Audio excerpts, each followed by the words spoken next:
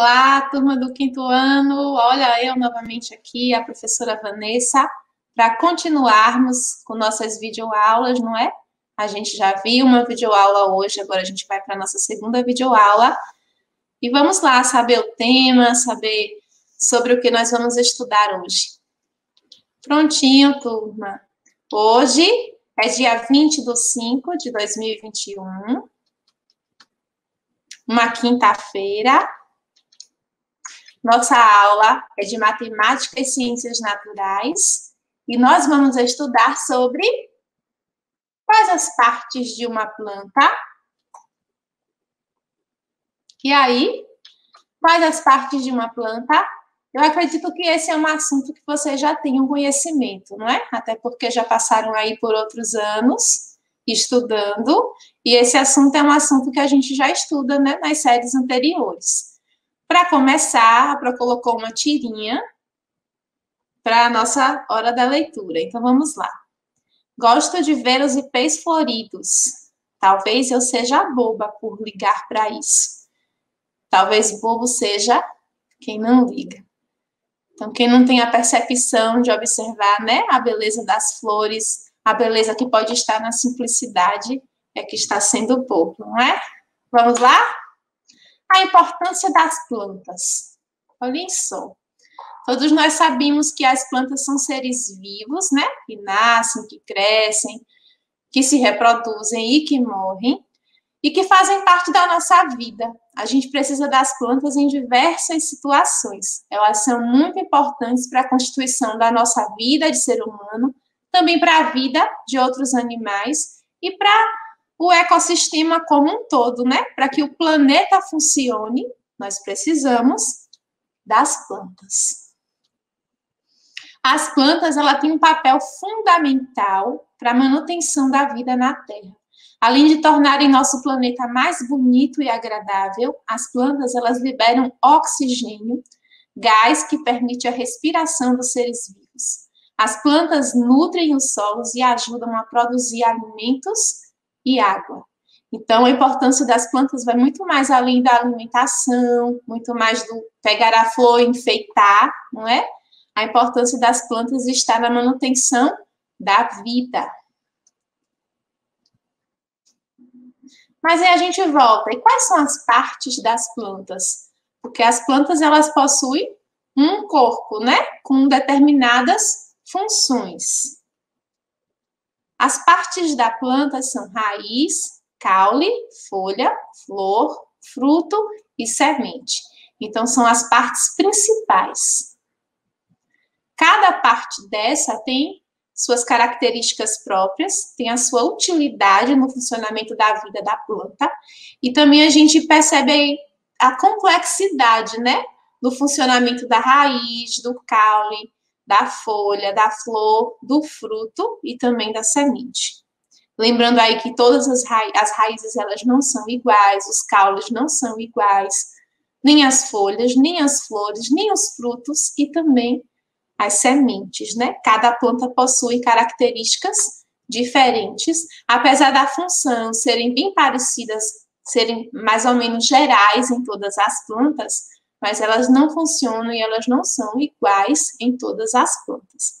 Algumas plantas, por exemplo, vão apresentar fruto, outras tenham semente diferente, de tamanhos diferentes, formato de frutos diferentes, frutos que podem ser usados na alimentação, frutos que não podem.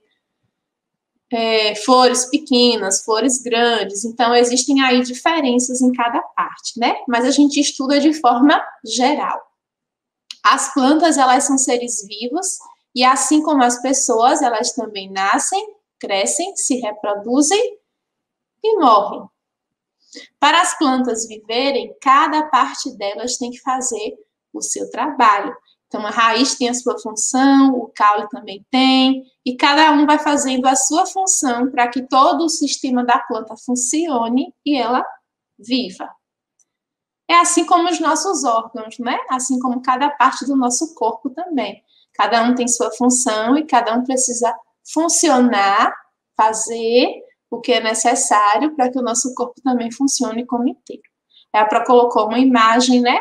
para simbolizar, para a gente observar cada parte da planta e a sua localização. Vamos conhecer, então, cada parte das plantas?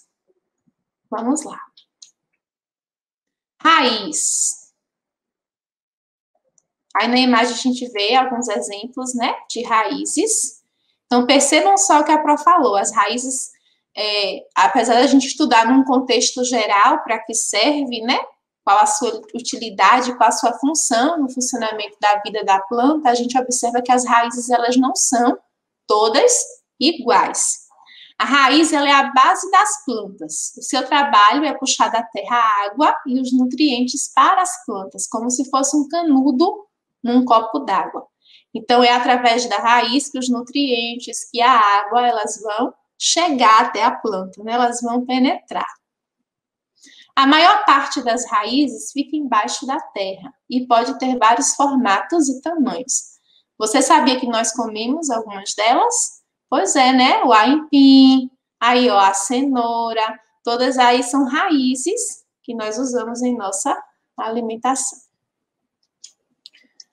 Vamos ver agora um pouquinho sobre o caule. O caule é a parte que deixa a planta de pé. Então, uma das principais funções do caule é sustentar a planta. O seu trabalho é levar os nutrientes que a raiz sugou e repartir pela planta toda. Ele também pode ser chamado de tronco, e nem sempre eles são iguais. Cada planta pode ter um caule de tamanho, de formato, de textura e também de cor diferentes. O caule é muito importante para todos nós. Além de comermos, alguns deles, eles servem para fazer o lápis o papel que usamos na escola. Então, também a gente faz o uso aí do caule, né, na nossa alimentação. Quem aí já tomou caldo de cana, hein? Vocês sabiam que a parte que faz o caldo ali que a gente consome é o caule da planta. Agora vamos ver um pouquinho sobre a folha. A folha normalmente é verde, porque tem clorofila, que é como se fosse uma tinta. O trabalho da folha é transformar a luz do sol em energia. Isso faz com que as plantas cresçam saudáveis. Há algumas folhas que nós podemos comer. As saladas, tão boas para a nossa saúde, são feitas com folhas.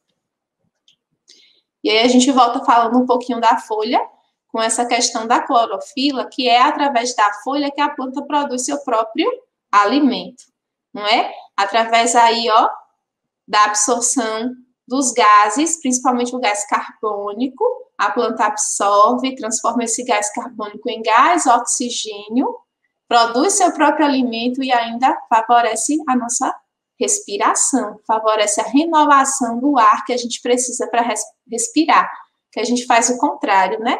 A gente respira oxigênio e a gente libera o gás carbônico. As plantas respira o gás carbônico e libera oxigênio. Aí tem uma diferença aí, porque a gente não consegue produzir alimento com essa transformação dos gases, e as plantas sim.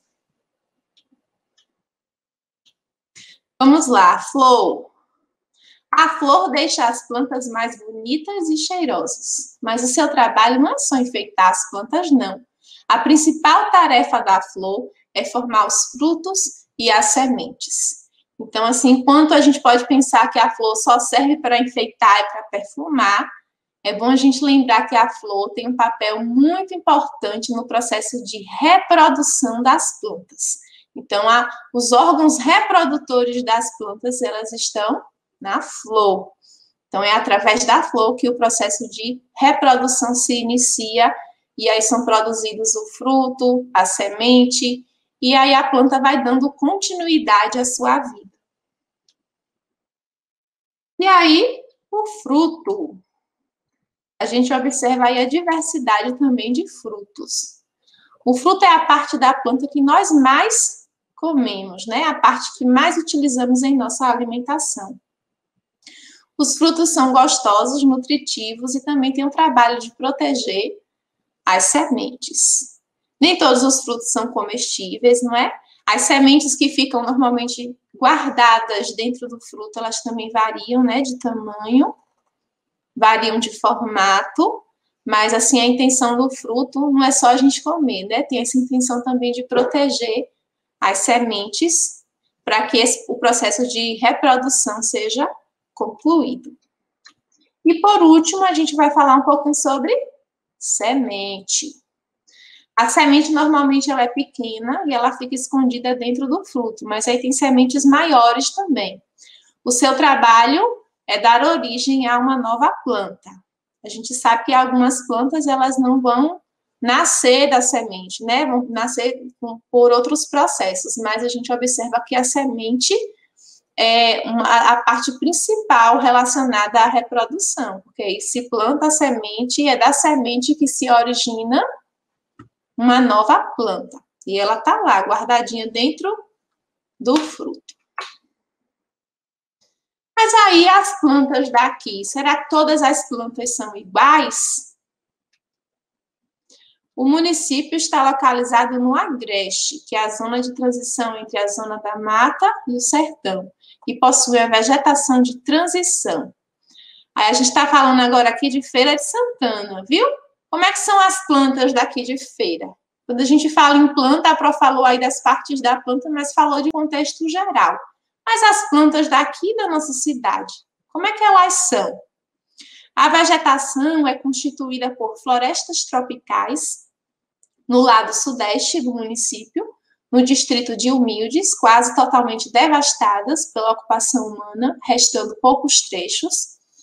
E essas florestas se transformaram em, se transformam em caatinga arbórea e arbustiva no extremo oeste do município.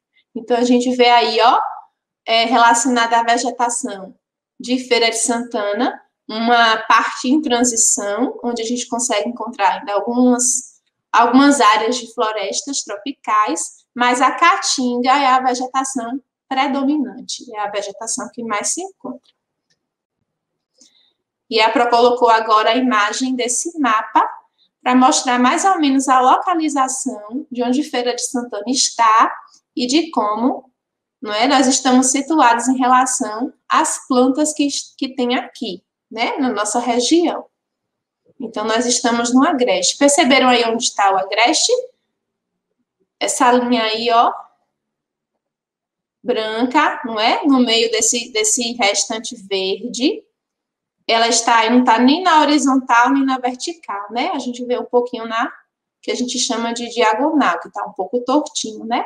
Mas a gente percebe aí a, a proximidade com o litoral, né? E a parte do interior, a parte aí do lado esquerdo, a gente observa aí já outro tipo de vegetação. Mas vamos continuar. Vocês sabem o que é agreste? O agreste possui o solo essencialmente pedregoso, rios temporários, vegetação rala e pequena. Aí tem alguns tipos de vegetações que são encontradas, ó, mirtáceas, combretáceas, leguminosas e cactáceas. Essa área, juntamente ao sertão, compõe o ecossistema chamado Caatinga. Já ouviram falar aí na Caatinga? Pronto, então é a vegetação predominante daqui, ó, de Feira de Santana, Caatinga. A Pro colocou algumas imagens para a gente observar como é que são o formato né, das plantas. E a gente observa que a caatinga é uma das vegetações mais bonitas do Brasil. Ela é considerada o maior bioma da região Nordeste e a que mais carrega esta identidade de patrimônio natural brasileiro. É formada por duas palavras tupi, é, Ka, que significa mata, e Tinga, que significa branca. Então, Caatinga tem um significado na língua tupi de mata branca. A Caatinga é um local que possui 12 solos diferentes, sendo a mais extensa floresta seca da América do Sul. E ela está presente em aproximadamente cerca de 373 municípios baianos, inclusive aqui em Feira de Santana. Agora é com você. A Pro colocou aqui um mapa, ó. Esse mapa traz aí a região Nordeste em destaque e a vegetação, os biomas, né, que compõem, que fazem parte da região Nordeste. Gostaria que você observasse esse mapa com bastante atenção e identificasse aí o estado que nós moramos. Qual é o estado que nós moramos? Pronto, nós moramos na Bahia. Observem aí a Bahia, encontrem aí a Bahia no mapa. Localizem a Bahia no mapa. Se a gente for observar os estados que são vizinhos, que pertencem ao Nordeste, que são vizinhos aí, ó, da Bahia, a gente vai encontrar quais estados? Bora começar a falar? Acompanha aí junto com a Pro. Maranhão, Piauí, Ceará, aí lá em cima, ó, Rio Grande do Norte, Paraíba, Pernambuco, Alagoas e Sergipe.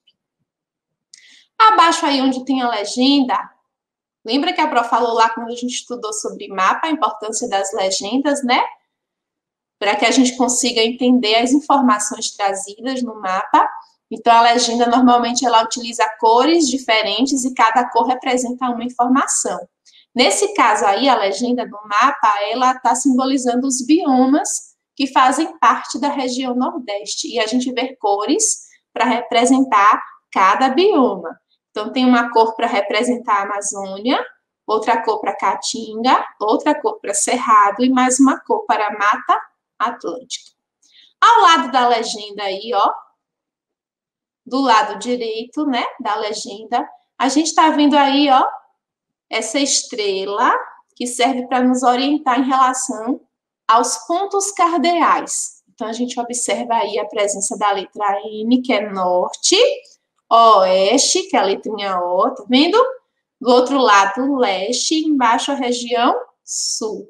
Então, ela serve para nos orientar em relação aos estados, em relação à localização do que a gente quiser observar no mapa. E aí, observe, a prova vai fazer algumas perguntas para que vocês observem no mapa, tá bom? Observando aí o nosso estado, a Bahia. Observem aí as cores que foram utilizadas representando os biomas que aparecem na Bahia. Na parte central da Bahia, qual é o bioma predominante? Na parte central da Bahia. A gente observa qual cor? Isso, o amarelo. O amarelo corresponde a qual bioma? A Caatinga, muito bem. Então, a gente observa que a maior parte da Bahia é ocupada pela bioma Caatinga. Aí, usando aí os pontos cardeais para nos orientar. Vamos lá. A oeste da Bahia, qual é a cor que aparece? A oeste. Observa aí a estrelinha, ó, com os pontos cardeais. No oeste da Bahia, a gente observa a predominância da cor laranja. Então, a gente identifica que ao oeste da Bahia, o bioma predominante é o cerrado. Muito bem. E aí, voltando para a nossa orientação, agora a Pro quer saber ao leste. Ao leste da Bahia, qual é o bioma predominante? Aí a gente precisa identificar a cor que está a leste, né? Esse verde mais clarinho, ó. Qual bioma o verde mais clarinho representa? A Mata Atlântica. Muito bem. Agora eu gostaria que vocês usassem aí, ó, as informações sobre orientação para poder identificar onde que vocês acham que no mapa da Bahia está Feira de Santana. Prestem aí bastante atenção. A gente já sabe que ele está no meio de um processo aí de transição, não é? Entre Mata Atlântica e Caatinga. Então, tem um restinho de Mata Atlântica, mas predomina a Caatinga. Então, ele está aí entre o verde mais claro e o amarelo. Então, a gente já sabe mais ou menos onde é que Feira de Santana está.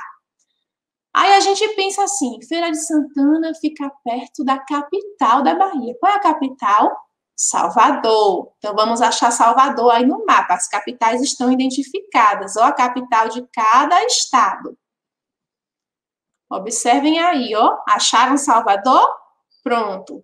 Então, ó, se, se Feira está próxima a Salvador e está entre aí num limite, ó, um pouquinho de Mata Atlântica e um pouquinho de Caatinga, onde é que vocês acham aí no mapa que Feira de Santana está? Tentem aí localizar. Será que está mais para o sul? Será que está mais para o norte? Olha. Acharam aí? Pronto. A Pro circulou aqui, onde mais ou menos, não é? A gente não tem a identificação exata, porque esse mapa não aparece as outras cidades, apenas as capitais. Mas aí, diante das proximidades, diante das informações que a gente tem em relação à orientação, ao, aos biomas, a gente consegue perceber que Feira de Santana está nesse entorno aí onde a Pro colocou, onde a Pro circulou. Tá certo? Foi mais ou menos aí que vocês encontraram Feira de Santana? Pronto, eu espero que sim, viu? Nossa aula termina por aqui. Vão estudando aí mais um pouquinho sobre localização, sobre também a importância das plantas, as utilidades também, a função de cada parte. E a gente continua, tá bom? Vocês agora vão continuar com a atividade que a própria preparou, mas a gente se vê ainda em outras videoaulas, viu? Tchau, tchau!